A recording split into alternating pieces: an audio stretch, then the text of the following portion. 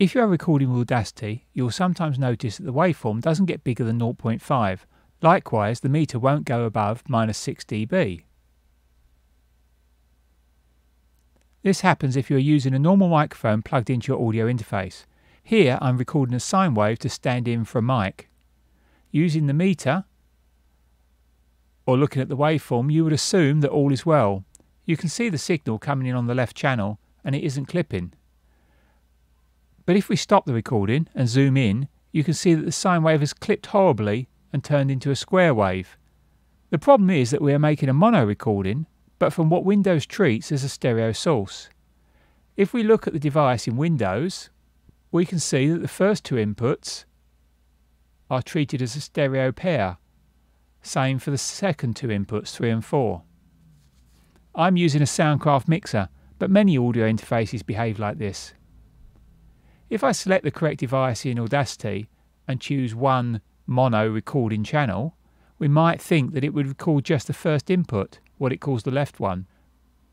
But in fact, it records both the inputs and adds them together to make a single track. Since each input can only contribute up to half the total, it's capped at 0.5. We can test this by playing another sine wave into the second input. Now we can see that the waveform is reaching 1.0 and the meter shows clipping. This is an Audacity feature rather than a fundamental problem. In a moment we'll look at an alternative program. The only workaround I've found for Audacity is to record the track in stereo.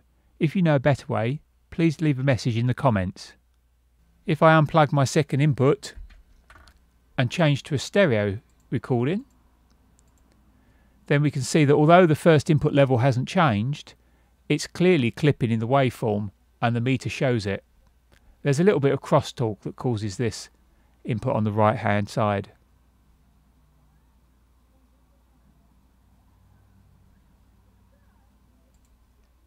Once you've recorded the track in stereo, you can convert it to two mono tracks and then discard the empty. Other programs don't necessarily have this problem. A proper DAW like Reaper allows you to choose which input you want to record from. If we stick to just free tools, then I sometimes use Ocenaudio, which I've linked to in the description. When I start recording Ocenaudio, it asks me what kind of recording I want. I'll choose 48 kHz and mono. If I choose mono, then it only records the left channel. You can see that it correctly indicates the size of the waveform and the meter has a nice clear overload indicator.